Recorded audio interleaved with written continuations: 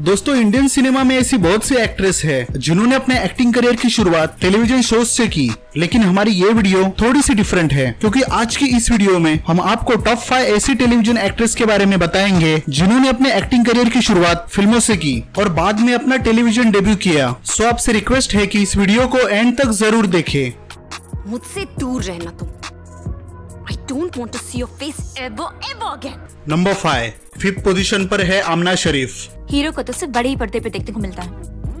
असली ज़िंदगी में थोड़ी अमना का बर्थ 16 जुलाई 1982 को मुंबई, महाराष्ट्र में हुआ। अमना ने अपने एक्टिंग करियर की शुरुआत 2002 में आई तमिल मूवी जय जंक्शन से की, जिसमें उनके कैरेक्टर का नाम जेनिफर था।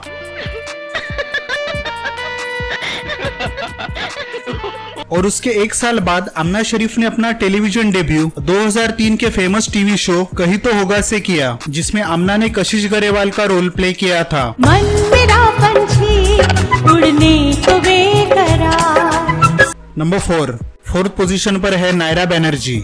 नायरा का बर्थ 14 मई 1987 को मुंबई, महाराष्ट्र में हुआ। नायरा ने अपने एक्टिंग करियर की शुरुआत 2009 में आई तेलुगु मूवी आ ओकाडू से की, जिसमें उन्होंने डॉक्टर पवित्रा का रोल प्ले किया था। और उसके 10 साल बाद नायरा बैनर्जी ने अपना टेलीविज़न डेब्यू 2019 के फ़ेमस टीवी शो दिव्य दृष्टि से किया, जिसमें नायरा ने दिव्या शेरगिल का लीड रोल प्ले किया था। नंबर थ्री थर्ड पोजीशन पर है एरिका फर्नांडिस नो न न न नाम तो नहीं सुना होगा ना? एरिका का बर्थ 7 मई 1993 को मैंगलोर कर्नाटका में हुआ। एरिका ने अपने एक्टिंग करियर की शुरुआत 2013 में आई तमिल मूवी इंथु इंथु इंथु से की जिसमें उन्होंने मंजरी नाम का कैरेक्टर प्ले किया था। और उसके तीन साल बाद एरिका फर्नांडिस ने अपना टेलीविज़न डेब्यू 2016 के फ़ेमस टीवी शो कुछ रंग प्यार के ऐसे वैसे किया जिसमें उन्होंने डॉक्टर सोनाक्षी बोस का रोल प्ले किया था। इस टीवी शो के दो सीज़न अब तक लॉन्च हो चुके हैं और इसका थर्ड सीज़न 2021 में लॉन्च होने जा रहा है।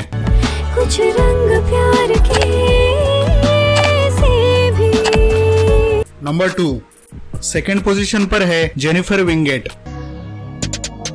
जेनिफर का बर्थ 30 मई 1985 को मुंबई, महाराष्ट्र में हुआ। जेनिफर ने अपने एक्टिंग करियर की शुरुआत एज अ चाइल्ड आर्टिस्ट 2000 में आई superhit Bollywood movie Raja ko Rani se प्यार हो गया से की, जिसमें उन्होंने तनु नाम का कैरेक्टर प्ले किया था। और उसके तीन साल बाद जेनिफर विंगेट ने अपना टेलीविज़न डेब्यू 2003 के famous TV show Shakalaka Bum Bum से किया, जिसमें उन्होंने पिया का कैरेक्टर प्ले किया था।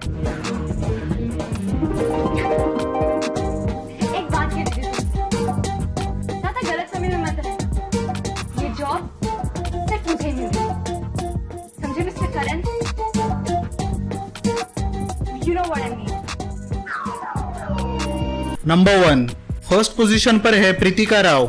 कोई प्रॉब्लम प्रीतिका राव उन एक्ट्रेस में से एक है, जिन्हें बॉलीवुड की कई सारी फ़िल्में ऑफ़र हुई, लेकिन उन्होंने एक भी ऑफ़र एक्सेप्ट नहीं किया। प्रीतिका का बर्थ 29 मई 1991 को मैंगलोर कर्नाटका में हुआ। प्रीतिका ने अपने एक्टिंग करियर की शुरुआत 2010 में आई तमिल मूवी चिकू बुकू से की, जिसमें उन्होंने मिनल नाम का कैरेक्टर प्ले किया था। और उसके तीन साल बाद प्रीतिका राव ने अपना टेलीविज़न डेब्यू 2013 के फ़ेमस टीवी शो बेइंतहा से किया, जिसमें उन्होंने आलिया जैन अब्दुल्ला का कैरेक्टर प्ले किया था।